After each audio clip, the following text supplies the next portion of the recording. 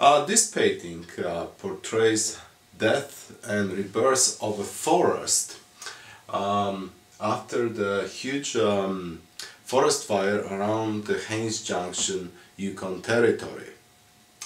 Uh, when forest burns, obviously it's a multiple tragedy for many reasons.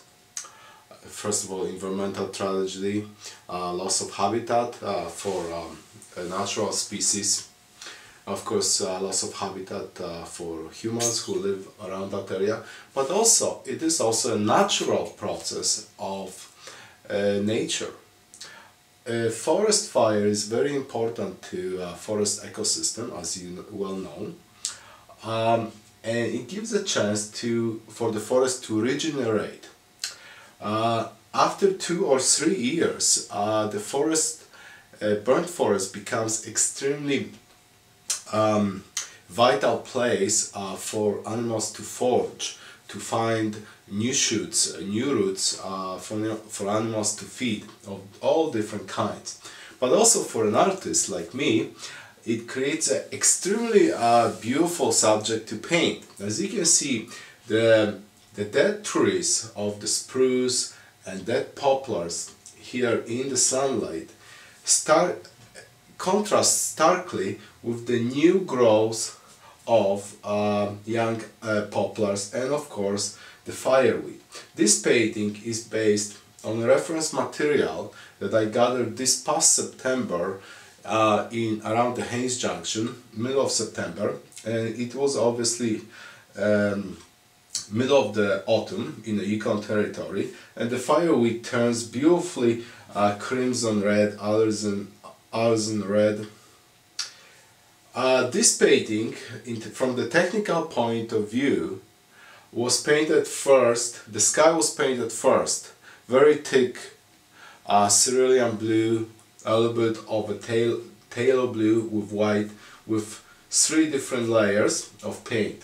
While this dried, I worked a little bit on the area in the foreground.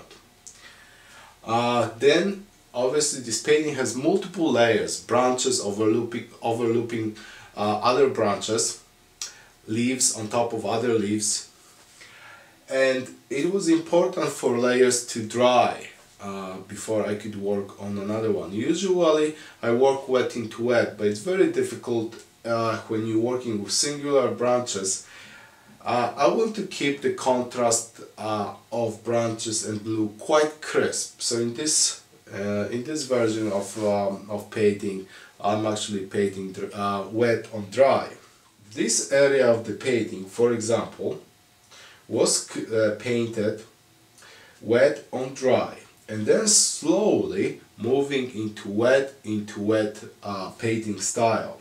While that dry, I start moving into the area painting the, the branches, highlighting the branches and when that dry I came with the final part of the painting which is the uh, leaves, yellow leaves with highlights uh, for the poplar and also those here in a little bit of a cooler uh, uh, light and yellow.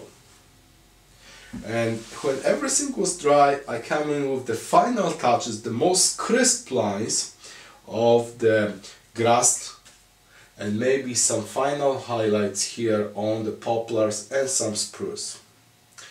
So here I will bring the camera a little bit closer and I show you the actual texture so you can appreciate that.